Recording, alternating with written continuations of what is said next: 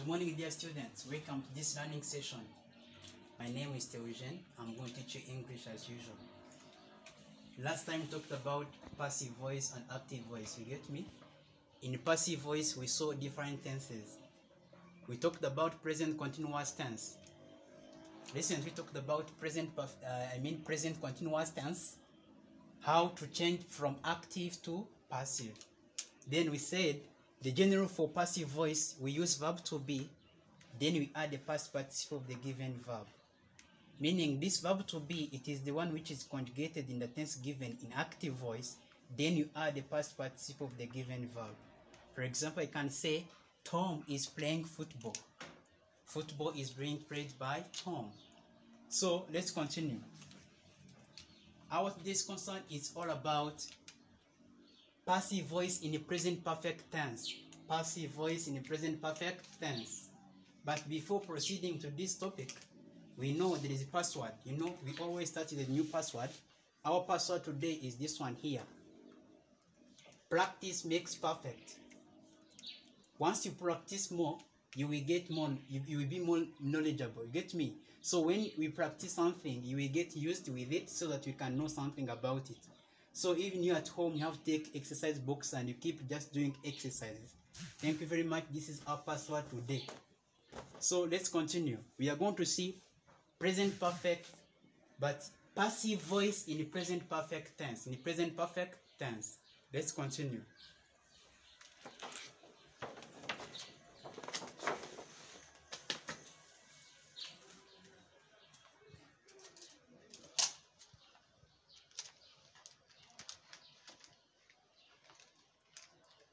We are going to talk about passive voice. Passive voice.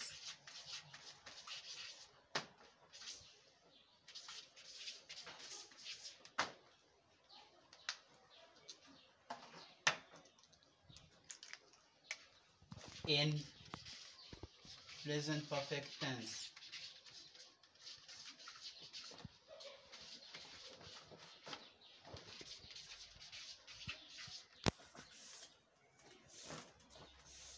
General is given like this one here. We use has or have. We add been then you add the past participle of the given of the given verb. For example, I can say Teta has has taken my book. Has taken my book. Let's just analyze this sentence. We have this subject, Teta. It can be replaced by the personal pronoun she.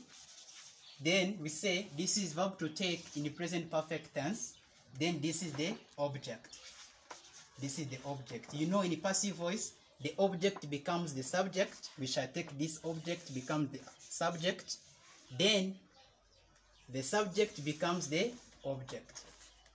But the verb stays in the middle. Then we shall say, my book. Remember, you have to start the sentence with a capital letter. Don't forget to start the sentence with a capital letter. Then we say, my book my book has been taken by by Teta. But if they have said she, we shall just remove and say it has been taken by her. Is it clear? Then we just continue by saying my book has been taken by Teta. Is it clear? So we shall say this is present perfect tense. This present perfect tense. We shall take this verb to be. We change into present perfect tense. Then we add the past participle of the given verb. Verb given here is verb to take. Verb to to take. Then we shall say my book has been taken by Teta. This is the general for passive voice in present perfect tense. You only remind about the verb given there, the tense given in active voice. Then you change verb to be according to the tense given in active voice. Another example I can say Tom has beaten me.